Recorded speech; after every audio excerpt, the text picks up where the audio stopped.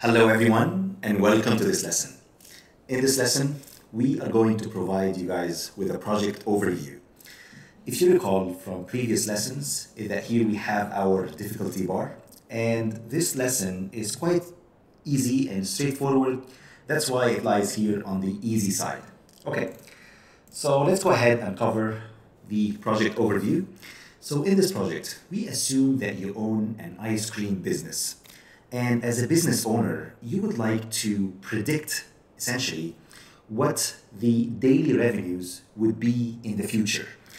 And, and I, as an ice cream have one key variable that impacts your revenue in the future, which is our temperature, our outside air temperature.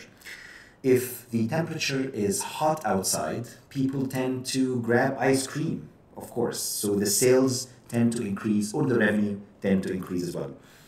And that's why in this project, we are going, we are going to assume that you own an ice cream business and you would like to create a model that could predict the daily revenue in dollars based on the outside air temperature.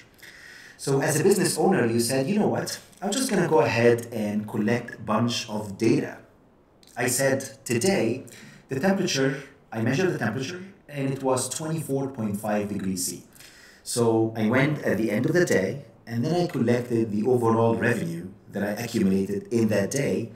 And that was around, let's say, $534, for example. And then uh, what I did as a business owner, I said, you know what, I'm just going to go tomorrow, for example, and then I'm going to collect an additional data point. I'm going to say the temperature is 26 degrees C, and the corresponding revenue associated with it is $625.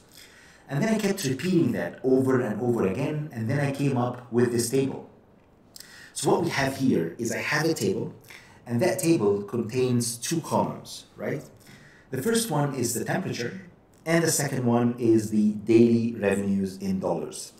So this is simply our data set that we're going to use in this project. So the input to my model is going to be my outside air temperature.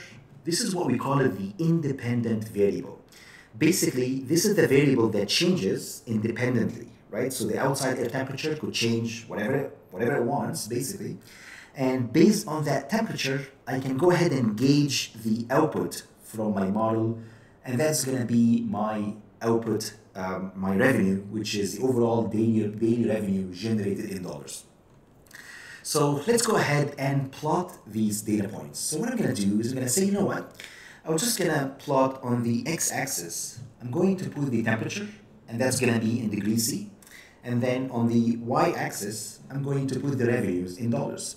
And then I'm going to grab that table and essentially plot it here. And that's what I can see here on this graph.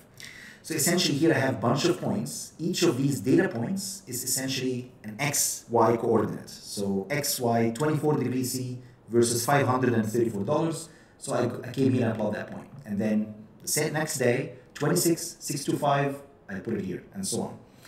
And what I wanted to build essentially in our project is I wanted to find the best fit line that can go through that data. And this is my best fit line that I'm trying to find. And once I have that, that means now I have what we call it the simple linear regression model and don't worry about it, I'm going to cover it in great details in the uh, next couple of lessons. But essentially, once I have that model, then I can rely on that model in the future to make revenue predictions. So for example, in a week from today, I can go ahead and come here and get a temperature measurement. I can say, well, maybe the temperature, maybe I'm in a hot August summer day, maybe the temperature is 40 degrees C.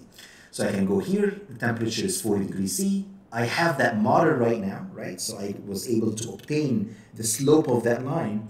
And then I can go ahead and predict the revenue, which could be maybe, let's say, $900, for example, like on the high side, for instance.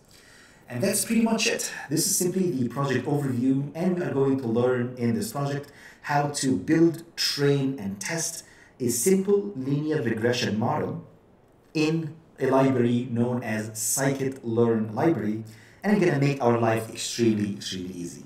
Okay? All right. So that's it. That's simply all I have for this lesson. I hope you guys enjoyed it. In the next lesson, we will cover the simple linear regression one-on-one. I hope you guys enjoy this lesson and see you in the next one.